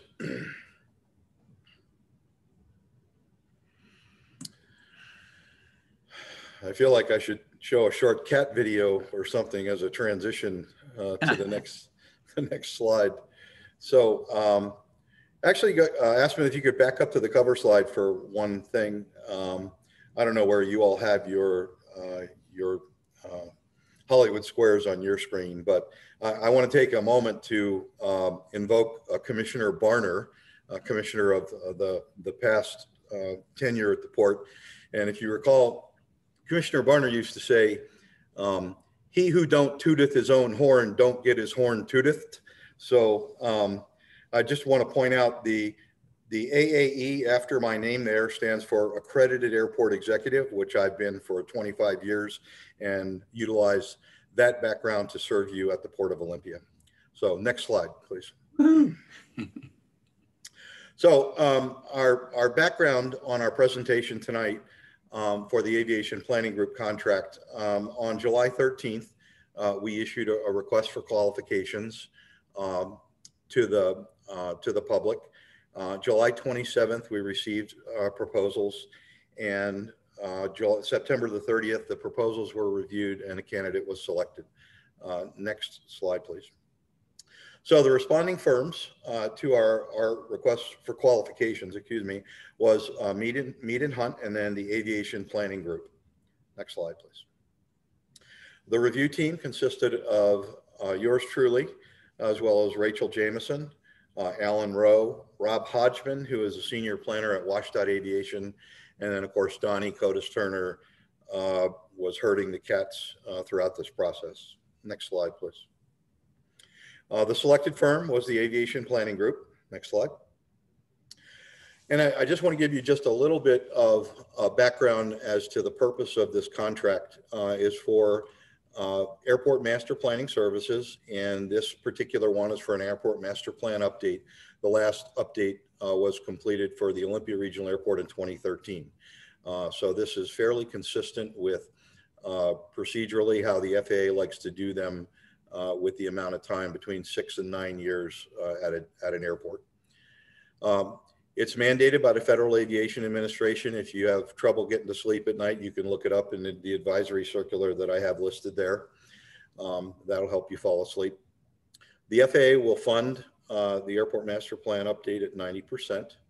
Um, the, the master plan update has very specific FAA mandated components.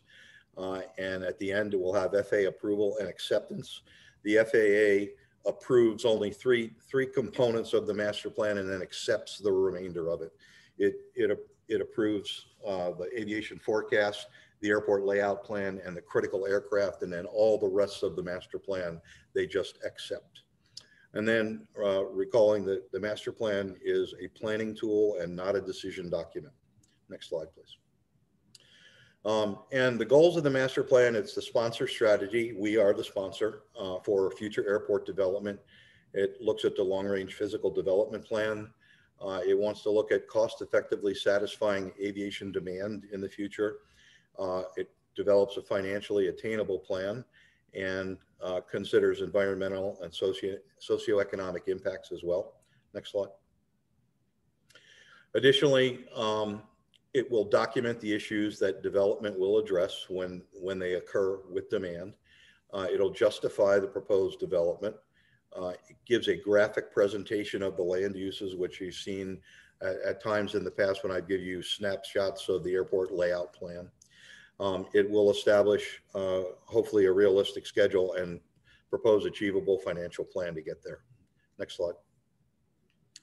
So the background work to date, a lot of things occur before the actual contract is signed, and that's required by the FAA, and they're the ones that govern this process. Uh, December 8th, uh, they approved the draft scope and fees.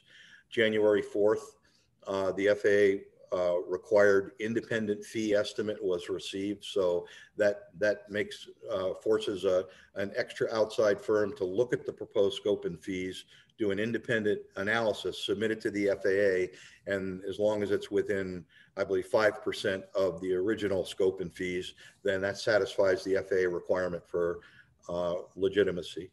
January the 8th, uh, the FAA did approve the scope and fees for the project. And then the, the process is still in front of us is to request the FAA to actually program the funds, which they, they've done verbally. We do it in writing. Uh, then we'll submit a grant application to the FAA. And then at the same time, we'll submit a grant application to WashDOT for their co contribution to the project. Next slide. Project funding. So project amount is projected to be 667,000. FAA grant funding from our non-primary entitlements will be $600,000. WashDOT funding will be um, 30, 33,350 and then the port's share will be 33,350. Next slide. Now the contract funding amount will be the 666, 667,000, uh, add, adding in a 10% contingency of an additional 66.7 for a total contract amount authorized for $733,700. Next slide. Timeline and next steps, February the 8th, uh, of course, tonight is the commission advisory. February 22nd, we'll come back requesting commission action. And then assuming the commission acts and approves the contract, March 1st, we'll issue the notice to proceed and launch into the process. Next slide. And there's uh, my buddy. Uh, and I'd be glad to take any questions.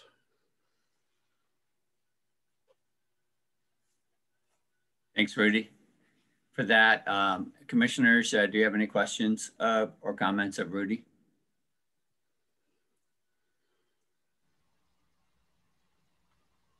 Commissioner Zita, do you want to go first? You go ahead. So, Rudy, just a couple of questions, real quick. the airport master plan is only involves that in the airport proper. In other words, between the fences, the runways, and the associated property that is located between the fences. Is that a true statement? Yeah, it's it basically will cover what's on the airport layout plan proper, which is an easy way to summarize. Uh, yes, what's within in the air operation side. Okay, so the uh, do we have we have a we have port funding in the 2021 budget for that 33,000 that's in there or yes that's correct okay and then the 10% contingency does that also get split up uh, 5% to FAA, two and a half to DOT and two and a half to the port or who picks that up? No, that, that ten, that contingency is, is basically contract authority. So I, when when the time comes and we, if for some reason we need to go beyond the scope, that allows us to be able to have that little margin of extra without having to come back to the commission for a further action. We're basically asking you to give us that leeway. So let me give you an example. If there's a certain amount of work that's approved by the FAA, if the commission came back and said, you know, Rudy, you've done a fantastic job on public outreach, but we want to go and have one more public outreach meeting and one other thing to, to do something, then that will have already given, given us in advance that extra wiggle room in contract authority without having to come back again to the commission. So the port would pay for that? Yes, that's correct. Okay. And then there is a public participation plan during the process. Uh, if I remember 2013, it was pretty in depth and and uh, I remember several of the meetings, but there will be uh, a whole process in place to take public comment as it moves to those points when they need to have comment on what's that, been developed. That's correct, Commissioner. And that, that detailed plan will be developed once the contract is signed and, and the, the consultant is on board and develops that plan. And that'll come back to the commission for at different different points along the way to, to brief you on where we are. Great. Thank you. Yes. Yeah, any questions? Thanks, Commissioner McGregor. I um, was wondering too about who covers the 10% contingency. That would um, that would be on us, and that would basically triple our contribution up to 100,000 if we chose to do that too. Um, that would be the port's share. Um, about the public outreach plan, um, Rudy, uh, do we know at this point who would run the public outreach? Who would design that plan? Uh, we we have a number of, of the folks on the team with the aviation planning group, and it'll be one of their members who'll be working with Jenny Folia Jones here at the port to develop what that plan looks like, and then that would come back and and we would be briefing the port commission along the way as to what that is. So that would be the aviation planning group. That's the correct. Group you've chosen. That's correct. Um, I hope that we will um, have some conversations about that well in advance. We have heard from many members of the public um, with concerns about the um, public outreach for our current destination waterfront planning process. And we can learn from that process and those concerns and improve on the airport planning process. Um, one final question is, um, in the past, the port has taken homes and uh, streets for airport expansion. Where would that kind of thing come into this process? Um, well, at, at present, I see no reason why that would be anywhere in the discussion. But if for some reason that had to occur um, or was proposed to occur, then that would have to be a very separate dialogue with the commission. But as I said, I, I don't see any reason why this master plan update is anything more than routine. Uh, just like when the, the commission uh, was participating when we did the one in 2013. And as you recall, that was reviewed by Cynthia Stewart, who is, I believe, still currently with the League of Women Voters. Uh, at the time, she was, uh, I don't remember her role, but as acting as a consultant and a former airport manager at, at Boeing Field. So um, I, I just, I don't see this being anything other than routine FAA um, procedure in order to keep us eligible for our federal funding. Uh, thanks, Rudy. I'm sorry, I, am not familiar with the 2013 process. I was um, recovering from a crippling accident that year, uh, so I was kind of out of commission. Um, but I have looked at port documents from past decades, and um, airport master plans ordinarily do not indicate plans to take homes or streets from surrounding neighborhoods, yet that has happened repeatedly. So that's um, just want want to get some clarity in this process um, about how that happens, um, and we can talk more about that later.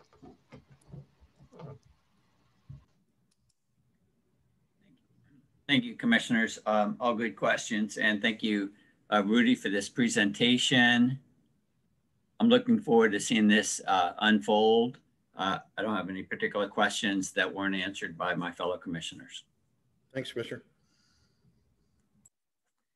Okay, moving on to our next agenda item, which is on-call environmental Cascade Pole Support with our own Don Bakke. Hi, Don.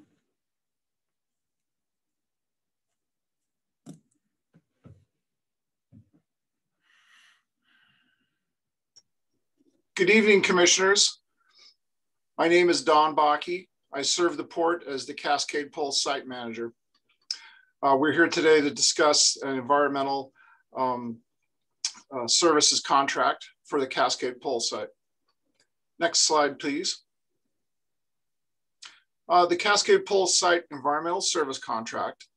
We sent out a request for qualifications on December 23rd, 2020 we received the proposals on January 7th, 2021. Three firms responded. Next slide, please. The responding firms were Landau Associates Incorporated, Maul Foster Alongi, and Sound Earth Strategies. Next slide, please. The general scope and the general provisions and scope of services for this contract is up to three years, so multiple year contract. The total expenditures are not to exceed $350,000. They provide regulatory and technical matters consult consultation, and they provide specialized field activities. Next slide, please. The response to the proposals reviewed by a team including myself, Todd Nestegard, TJ Quant, and Donnie Cotis Turner, who kept us in line. Next slide, please. After reviewing the proposals and scoring them and having uh, two interviews, Landau Associates Incorporated was selected to provide this contract. I am currently negotiating fees and budget with Landau. Next slide, please. The next step in this process is that we will come to the commission on February 22nd, 2021 for commission action. At that time, we'll be requesting contract approval. Next slide, please. At this time, is there any questions from the commission?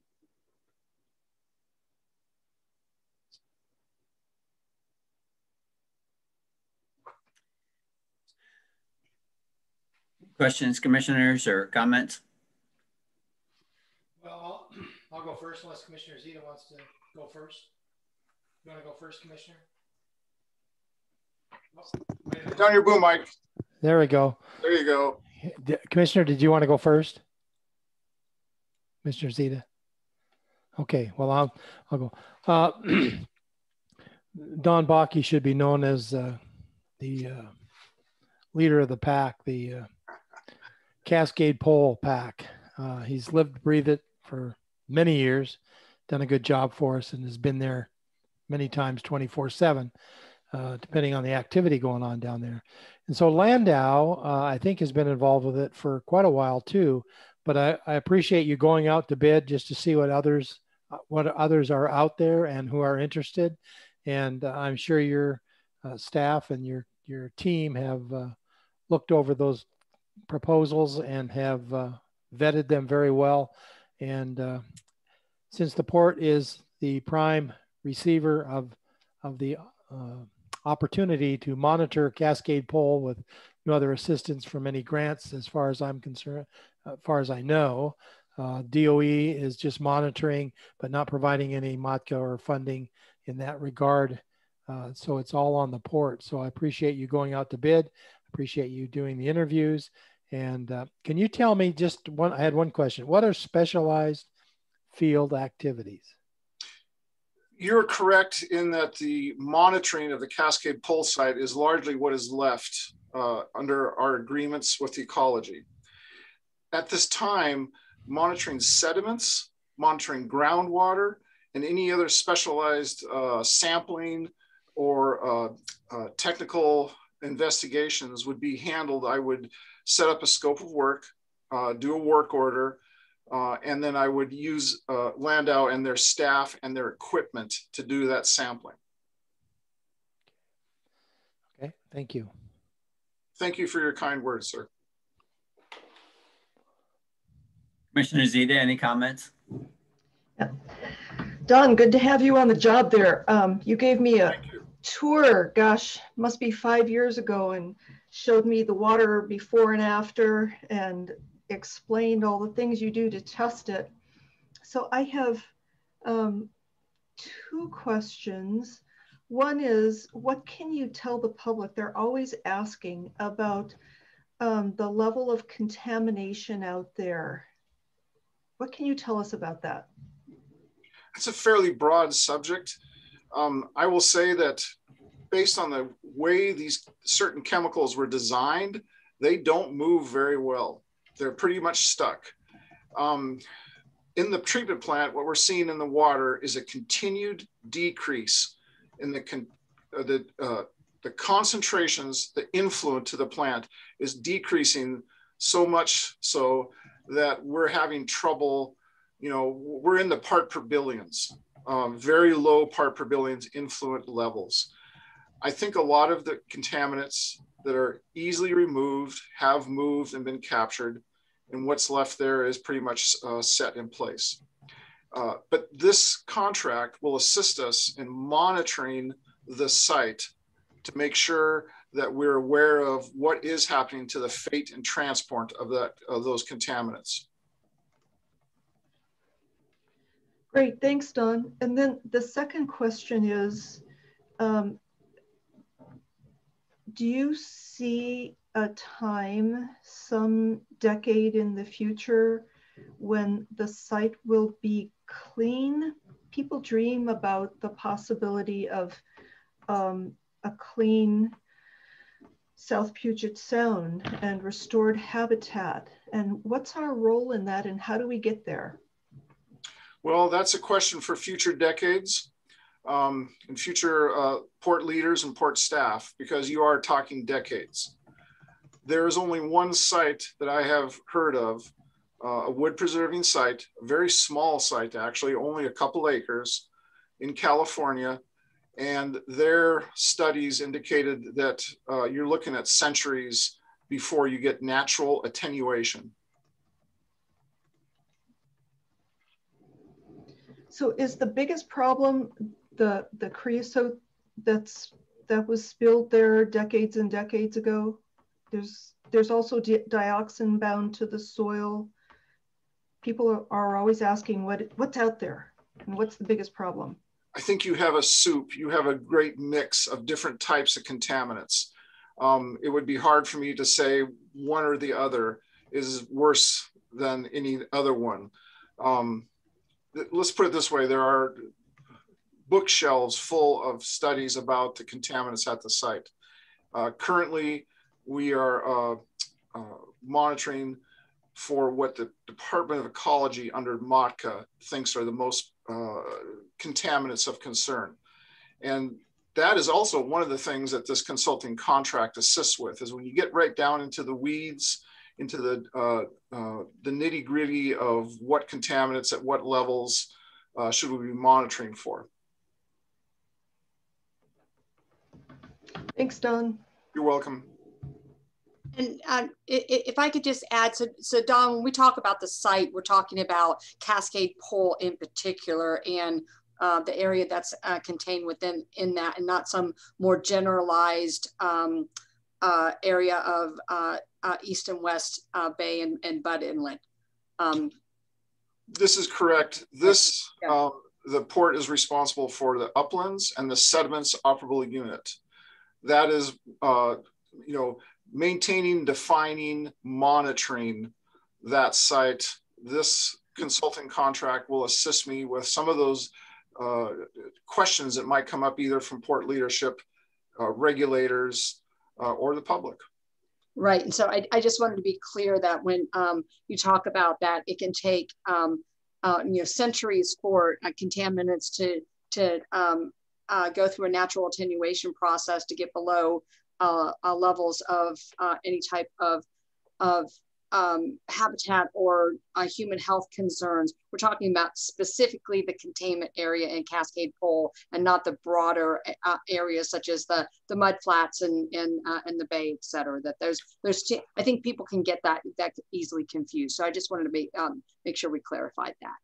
Well, I'm going to correct you a little bit, Director. Um, this contract will help us uh, monitor the offshore sediments that are part of the Cascade Pole site, not the broader lower Budd Inlet. Right. Yes. So uplands and offshore. Mm-hmm. Okay. Well, so when as I listen to this, I'm hearing kind of kind of hearing two different things. So I'm going to ask this question. Sure. I'm familiar with the asphalt cap, and I consider that to be the Cascade Pole site. Is that are the boundaries different for the Cascade Pole site than what's expressed in that giant asphalt parking lot? I would say to a certain extent, the uplands are defined by the capped area. Okay. Inside the slurry wall, inside the steel sheet pile walls, there is, though, a sediment operables unit. Okay. That is one of the uh, areas, which is offshore. Okay. That the this consultant will help us with monitoring uh, and you know reporting what we find out there, and that basically is the offshore area. Pretty hey, much. Don, Don, it's Rudy. I was hoping at some point in the presentation you'd use my favorite word, uh, the aquitard. yes, we do have a very, we're, we're very fortunate to have an underlaying uh, confining layer, and it's called the aquitard. okay. So uh, I'm sorry, Commissioner, did that answer your question? There are two parts that this consultant, this contract will assist the port with. Oh yeah, answer my question very well. Thank you. Okay. Yeah. Good. Okay then. Well, thanks, Don. Appreciate that. Uh, Don, we're going to move on to uh, public comment. And there might be a question about this item or not, but I'm going to move on to public comment on advisory items. So I welcome members of the public that might be on the phone to, uh, if you have a question about the Nisqually River uh, and Delta restoration presentation or the aviation planning group contract or the uh, Cascade Pole. Um, so we would welcome a question if you had one on the advisory calendar now.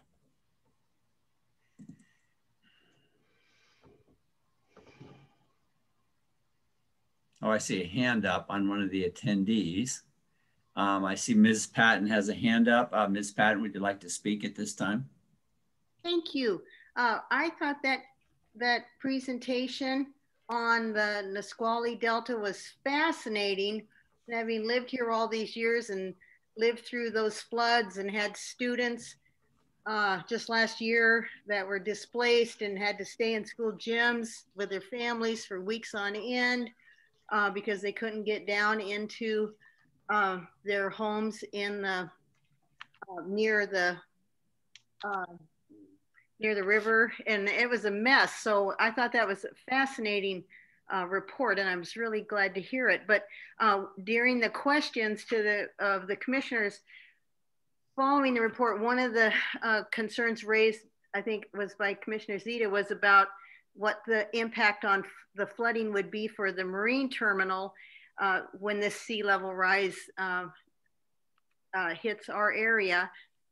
And so I'm wondering, isn't there a concern about the sea level rise on the rest of the Port of Olympia properties. I mean, we have the marina, we have the rest, all those restaurants, we have the farmers market, the trails, and then let alone downtown Olympia. I think I think it's a bigger issue than just the marine terminal. And I may be wrong, but I think the marine terminal has the highest elevation of any of the properties. And it would only affect at high tide and there are a number of uh, reports from other uh, ports around the country and the world about how they're addressing um, sea level rise in their marine terminals.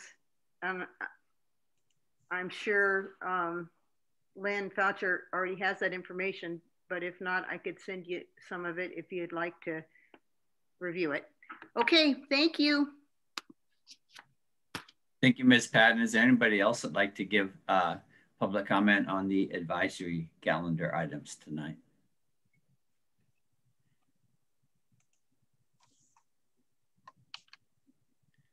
Okay, hearing none, I think I'll move on to uh, any commission response to uh, Ms. Patton's comments.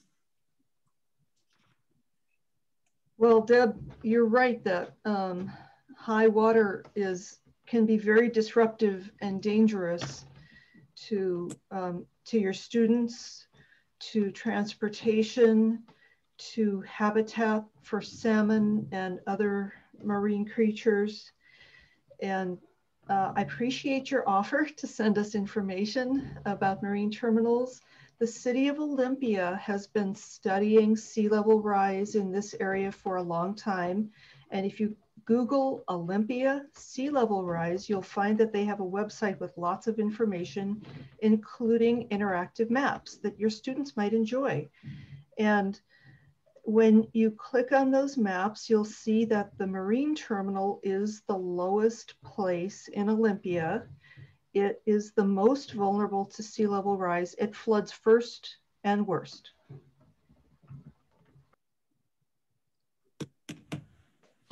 Uh, Commissioner McGregor? No, no comment. Thank you. Okay. Uh, thank you, Ms. Patton, for your comments. Uh, you can be sure that the Port of Olympia is uh, following closely the uh, and is a partner, of course, with the City of Olympia and LOTT in studying sea level rise. And, uh, you know, we're working towards appropriate uh, solutions. So thank you. Okay. At this time, we're going to move to commission reports, commissioner reports or discussion. So uh, turn to my fellow commissioners. Do you have any issues or anything you'd like to raise at this time? Or report on meetings. It's a higher elevation than any of the other properties. How could it possibly be? Ms. Patton, you want to mute yourself? Thanks. I only have uh, two things to report. Uh, on the 26th, the commission met with the POCAC uh, in January, and uh, we had a joint meeting, which we usually do, and talked about projects and looking forward to hearing back from them on that. And then uh, on, as it was related, February 3rd and 4th, the port had a retreat. Uh, and uh, we're going to continue that retreat uh, with the uh, attendee that couldn't make uh, and facilitate that discussion. So we'll be we'll be extending that, but I thought it was worthwhile. Thank you, Commissioner. Commissioner Zita? Uh, the public may be interested to know that at the uh, joint meeting with the commission and the Citizens Advisory Committee, which Commissioner McGregor mentioned, we agreed on two main things to investigate. Uh, the commission agreed that the Thurston Climate Mitigation Plan is a priority for us. Uh, we hope to sign an interlocal agreement on that plan and the Citizens Advisory Committee will study the climate mitigation plan and the port's study on our greenhouse gas emissions to see what we can do to reduce our impacts. The second thing we agreed on was broadband.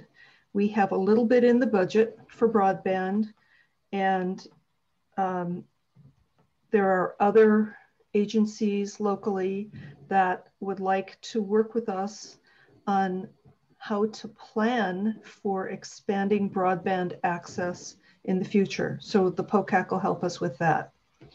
Both of those issues came up at the Thurston Regional Planning Council meeting last week.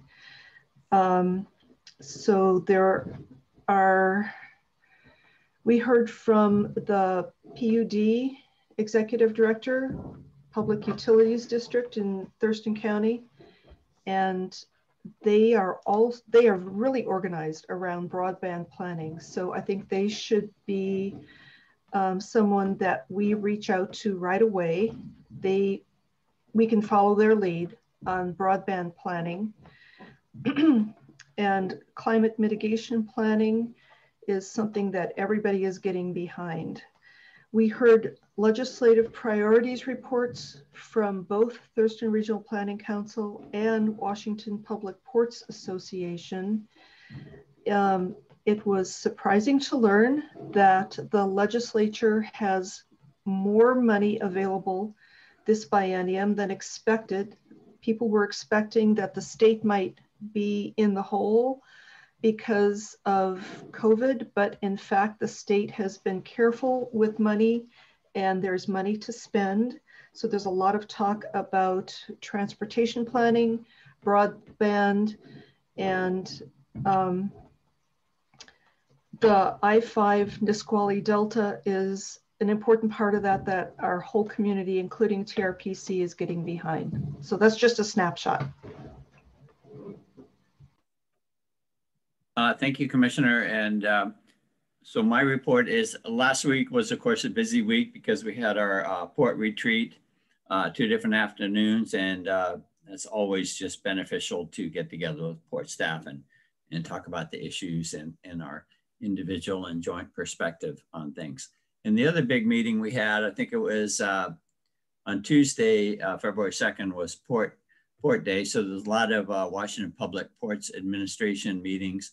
But we also, uh, as the president of the commission and the executive director, we met with uh, Senator Sam Hunt and Representative Dolan to talk about Destination Waterfront and some of the things that we're, we're working on there. And we actually put in an ask for some money from the uh, state budget to help us with that development. So um, as Commissioner Zita said, you know, there's there's some opportunities out there for for money uh, for different projects, and so we put our put our name in the hat for that. And it's the first time the port's been, I think, to the legislator legislator uh, legislative branch to ask for anything in at least 15 years. So that was a big step. Um, so that's my report. Good. Okay, well, we're down to uh, meeting announcements. And I know we've got a couple of destination waterfront meetings coming up. So I hope my fellow commissioners, you've both done great uh, sitting in on those when possible. So uh, speaking of, um, today is, I believe, February 8th. So in two days, we have the Destination Waterfront Advisory Group meeting, which is also open to the public. And you can see the uh, Zoom link from our website, and that starts at 10 a.m. Then on February 16th, we have a special commission work session, and it's called special because it's on a Tuesday, not a Monday, because Monday is President's Day. So that's Tuesday afternoon at 2.30.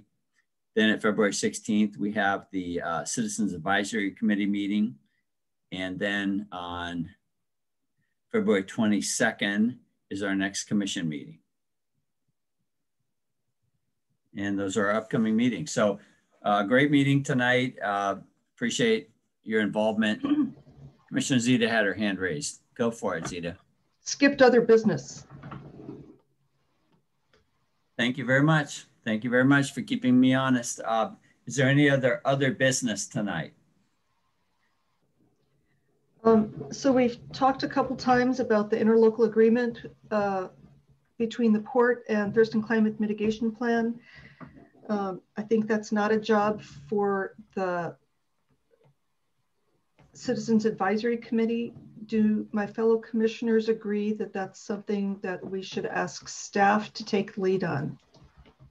The interlocal agreement on the Thurston Climate Mitigation Plan.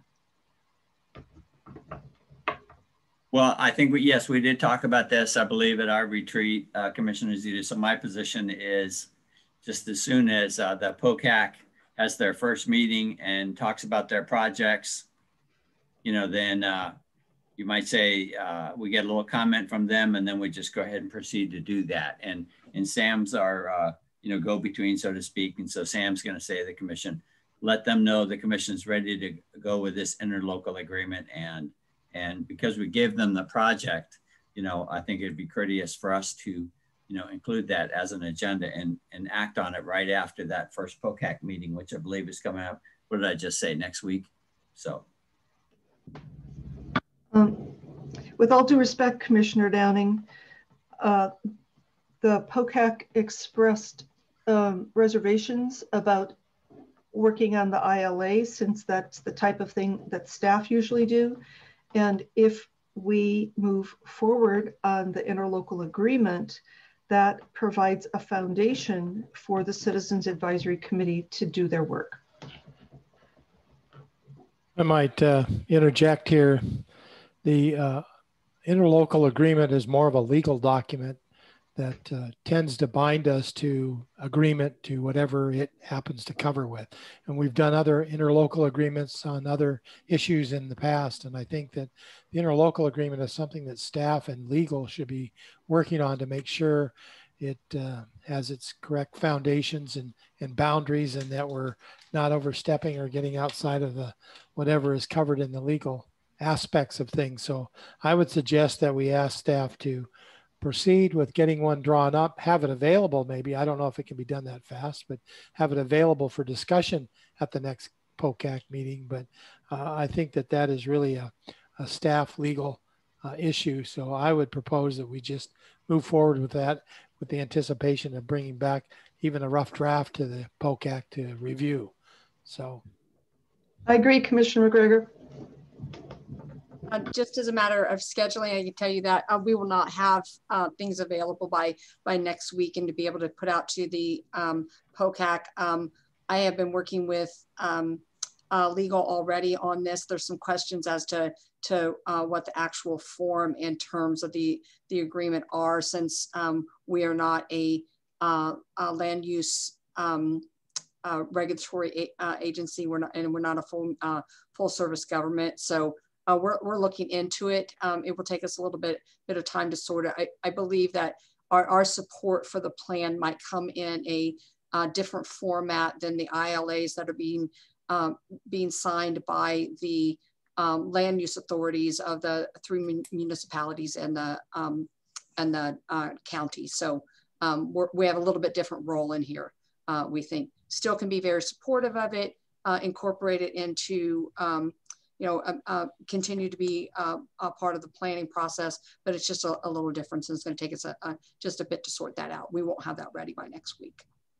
Thanks for moving forward with that, Executive Director. I trust that staff and legal can work that out. Mm -hmm. Thank you, Sam. Thank you, Sam, and thank you, commissioners, for your comments. Uh, um, I'm glad we are on the same page on that. Is there any other other business?